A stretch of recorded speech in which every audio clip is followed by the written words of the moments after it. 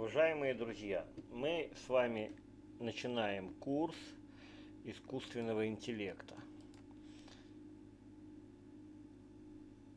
Создана специальная страница, специальный раздел.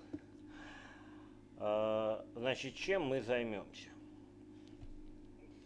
В первую очередь а, мы, я вам покажу, как легко установить на Windows, на Linux э, все сразу библиотеки.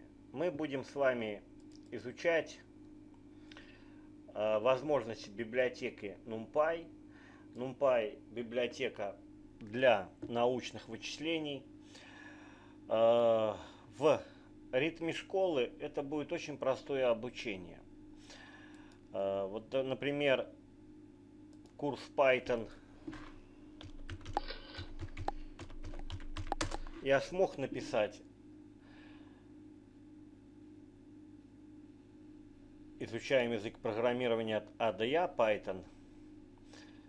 Вот, допустим, начало полного курса, тут можно посмотреть первые уроки, который всем понятен. Абсолютно любой человек, который проходил курс, он э, начинал, начал понимать Python, справку и, грубо говоря, двигаться самостоятельно. Давайте разберемся, э, вот я дальше перечислю, покажу, но это не занятие сейчас, я просто делаю обзор. Э, зачем вообще мы это делаем? Можно, конечно, было бы сделать следующим образом. Писать так, я не говорю, что это плохо. Ну, научным языком, да, сложным для обычного человека. Применение мет, например. Эвристика предназначена для прореживания сети, применяется для стабилизации функционала таким образом, что применить... Э, вы знаете, ведь ученых людей не так много, и скорее всего э, вот этот текст э, работы с нейронными сетями, он будет понятен ученым, их очень малое количество а людей, которые занимаются программированием, очень много. И э, давайте вот подумаем, вот на слух воспринимайте. Пробег, пробегимся по библиотекам. Скажу, наверное, сейчас главное. Э, я хочу преподнести курс очень простым языком. Для прикладных примеров, для любого абсолютно сайта, любых программ, которые просто после использования библиотек станут умными. Э, ваши программы, ваши сайты, решая вполне нормальные задачи. Итак, э, э, первое, куда мы окунемся, это библиотека NumPy. Ну, конечно же, библиотека очень мощная для вообще для работы научных вычислений. На основании этой библиотеки, то есть э, не на основании, а применение этой библиотеки будет идти во всех последующих библиотеках, э, которые мы будем изучать. Мы будем изучать библиотеку SkiPy. Это функционал, это, грубо говоря, пакет, который в себя соединяет другие пакеты. Ну, вот если я запущу этот пример, вот что мы увидим, сейчас посмотрим. Вот, видите, э, построился график. Э, если я запущу четвертый пример, у нас идет пакет Pandas. Тоже вот сейчас э, Pandas это пакет для работы с большими массивами. Не волнуйтесь, я сейчас скажу основную суть. Или пойдем дальше, вот у нас применяется NumPy, и Metrolib, да, то есть библиотека визуализации. Э, вот мы построили график. Это все нужно для сайтов. А вот здесь применяем мы и Metrolib, NumPy, Skeleton, то есть э, уже три библиотеки. И э, если мы запускаем, то видим определенную регрессию плюс отчеты. А, конечно, становится вопрос, что мы будем изучать и зачем нам это нужно. Ну, во-первых, э, начнем мы с четырех библиотек. Если вы увидели, э, первая библиотека это NumPy, вторая библиотека э, SkiPy, Metrolib и еще библиотека Skillet-Learn.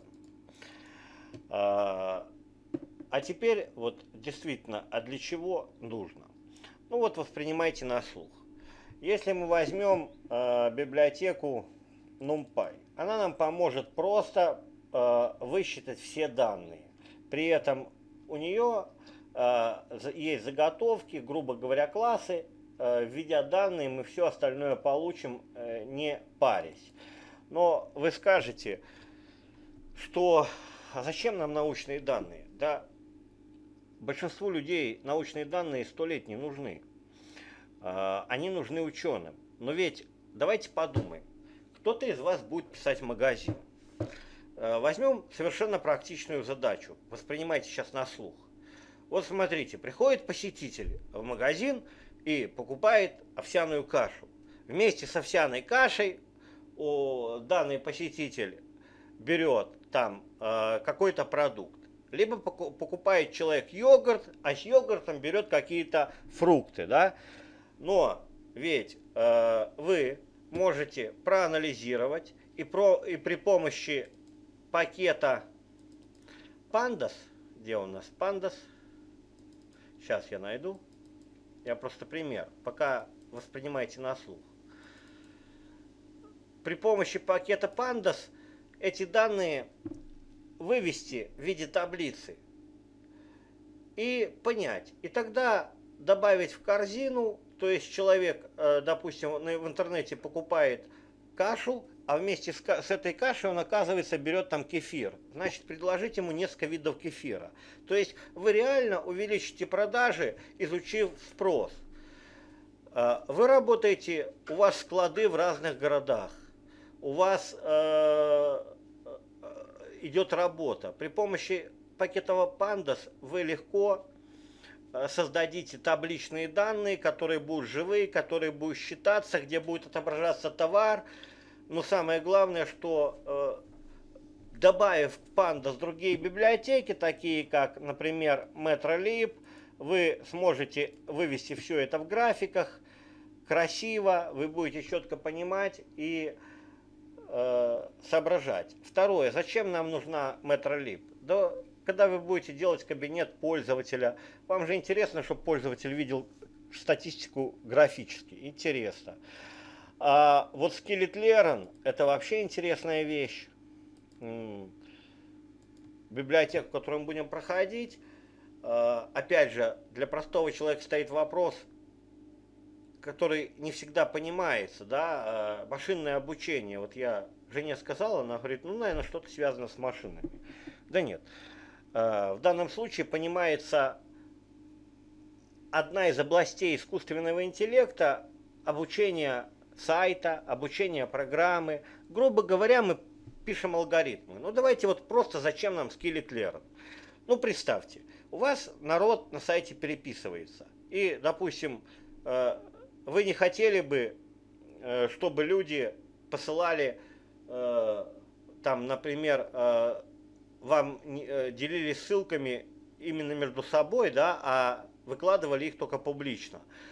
Тогда вы пишете программу, то есть алгоритм, и как только эта программа находит ссылку, она показывает ее вам. Вот здесь в обучении машинам есть понятие обучения с учителем, обучение без учителя. Если простым языком, с учителем, это, грубо говоря, она присылает вам либо на почту, либо в папку складывает, грубо говоря, для э, а программа не обрабатывает сама весь процесс, а показывает вам, вы принимаете решение и считаете там удалить эту ссылку, написать предупреждение. И без учителя, это когда программа самостоятельно на основе каких-то признаков применяет принимает решение, например, нашла ссылку, отправила в спам. Все. Э, вы не хотите, э, или, например, значит, вам надо составить алгоритм классификации. То есть вы хотите выяснить, у вас есть определенные клиенты, которые каждый день чего-то покупают. И программа начала бы отслеживать, что сегодня купили, что завтра купили, что послезавтра купили в течение месяца. А в конце концов вы поставили график. После этого э, при помощи Pandas создали таблицу и выявили все потребности. Вы увеличиваете продажи.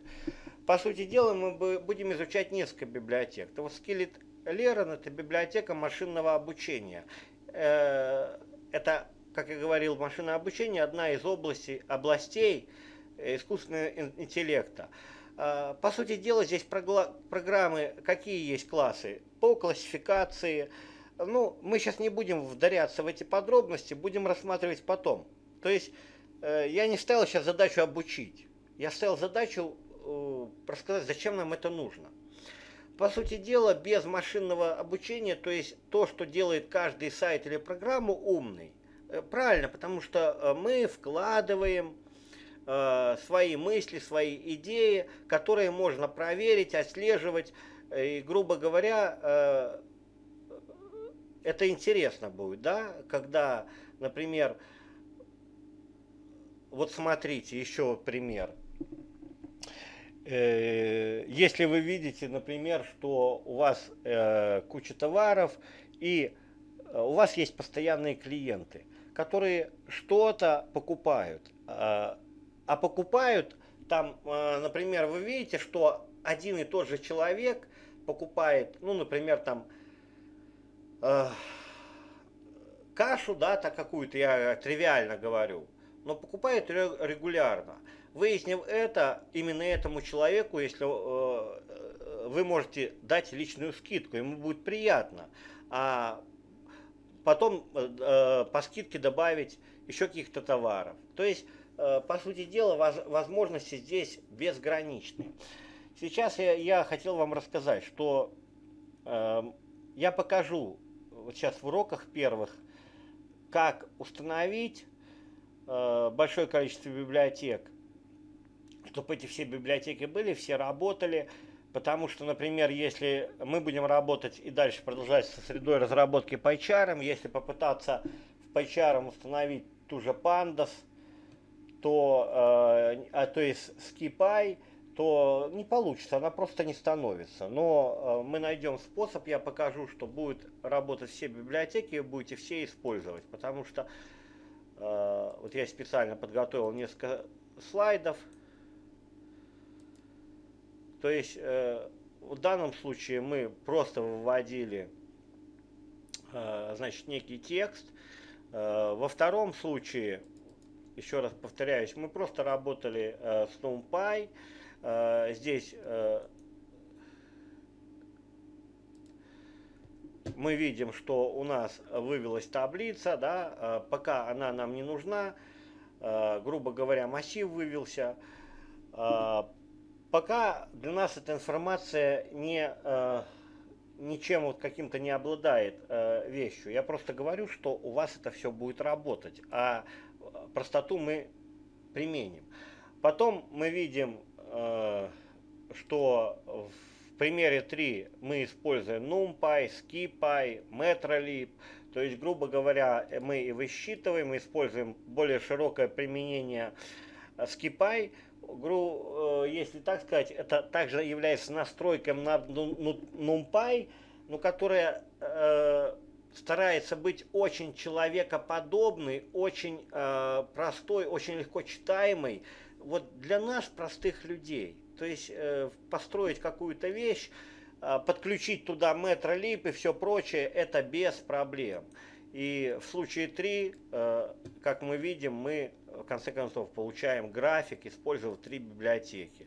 В случае 4 мы используем pandas numpy, да, то есть вот тут у нас array row массив, э, то есть и мы получаем э, вот при помощи pandas, то есть пронумеровали от 1 до 7 э, числа, да, но на самом деле это опять же самый простой пример, а, это может быть таблица, очень удобная, человекочитаемая. Это может быть э, высчет э, товаров на складе. Это может быть перемещение. Все, что угодно может быть. Вопрос в том, что это применимо абсолютно к любому проекту. В следующем пятом при, примере у нас используется NumPy и Metrolib. Вот. И тут у нас будет уже э, график просто, да. И в шестом примере э, мы используем Metrolib, NumPy, Skeleton, но это уже более сложные вещи. Это уже целая регрессия.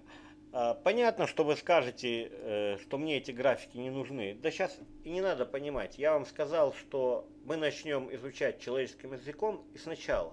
Просто я хотел сейчас сказать, что смотрите, эти библиотеки работают вместе, ребят. Они работают вместе. Все они устроены по одному и тому же принципу. По сути дела, э, все делается банально просто. Э, принцип их работы очень прост зная э, Python,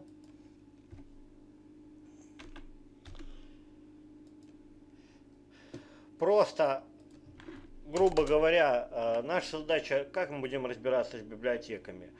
Э, все очень просто. Вот у нас будет определенный класс. Класс FIF. Мы будем знать, что в данном случае класс FIS, FIF э, делает следующее. Там смотрит, какие сапоги у кота. Мы знаем отлично, э, класс FIF у нас смотрит, какие сапоги у кота. Отлично. Э, Зная это, э, при значении класса мы просто-напросто начинаем его использовать уже согласно нашей задаче. Если у нас есть 5 э, котов, то понятно, что применив класс FIF, нам выдаст, что у этого кота э, серые сапоги, у этого зеленые, у этого синие. Вот и все. То есть принцип такой, что заготовки все есть. Ну, кот это утрировано, это как кот в сапогах, просто я сейчас смотрел мультфильм, вспомнил в детстве вот этот мультфильм, любил кот в сапогах, поэтому и пришел пример.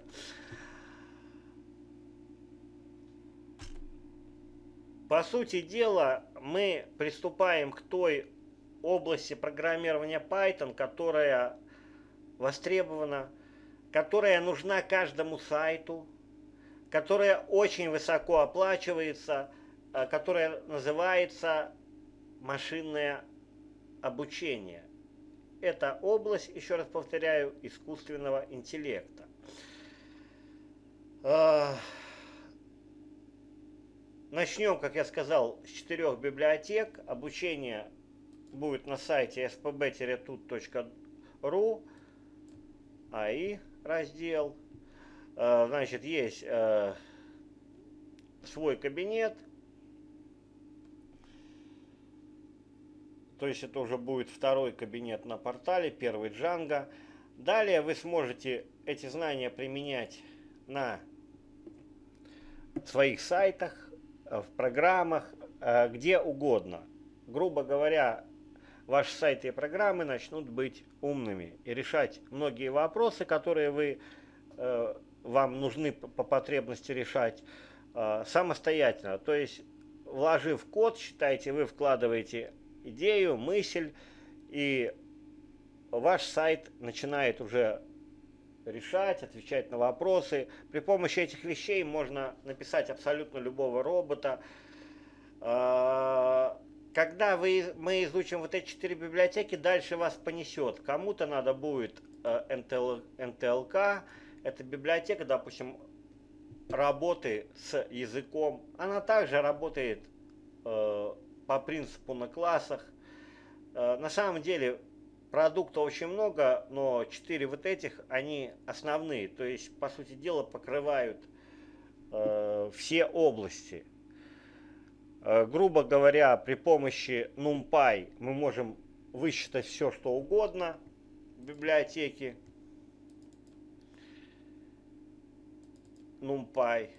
При помощи библиотеки SkiPy мы можем... SkiPy вообще в себя включает, как я говорил, э, имеет настройку на NumPy, делает это человекопонятным языком. При помощи SkiPy мы можем э, написать э, любой код, э, либо э, Skipy также включает в себя другие пакеты. Skipy это пакет, который включает другие пакеты. Э, например, пакет MetroLib. Грубо говоря, э, Skipy э, вот этот пакет, то есть при помощи Skipy посчитали, при помощи MetroLib э, мы просто отобразили график. Э, такая вещь, как где у нас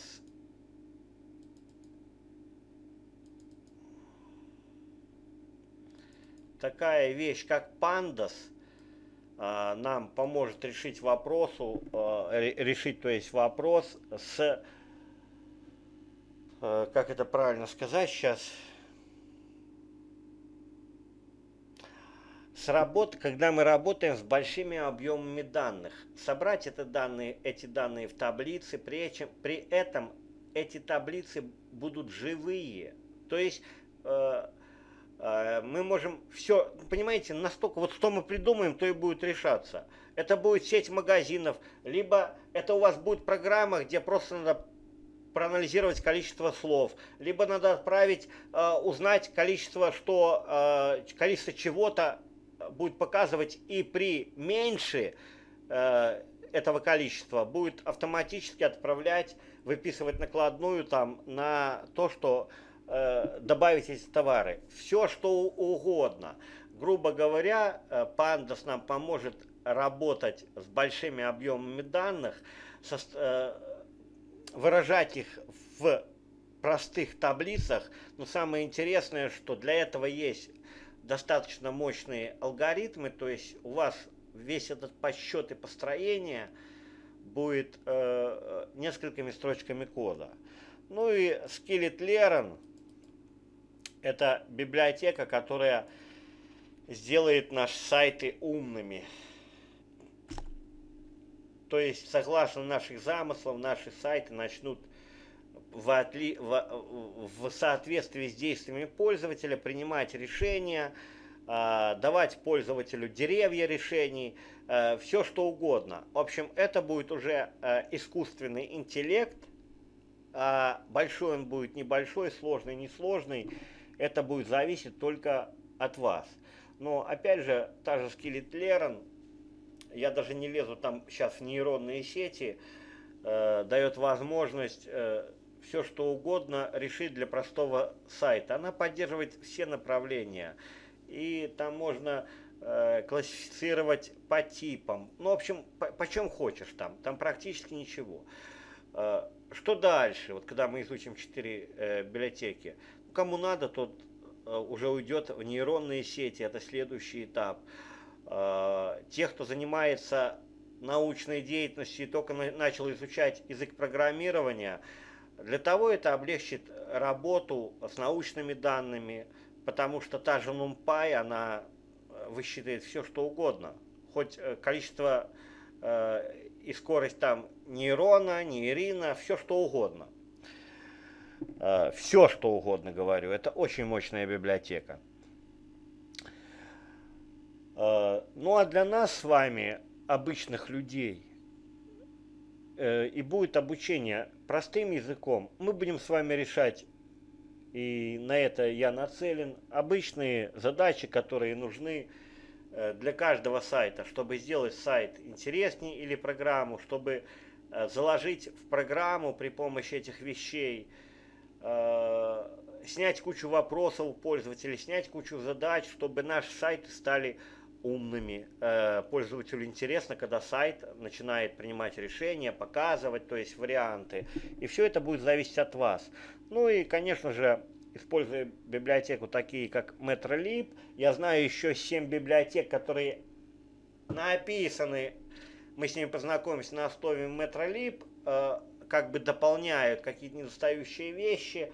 Это интересно будет на сайтах, чтобы отображались какие-то данные, графики строились и для отчетов. Ну, в общем, все это нужно. Я надеюсь, что у меня получилось рассказать. Э, изучайте Python.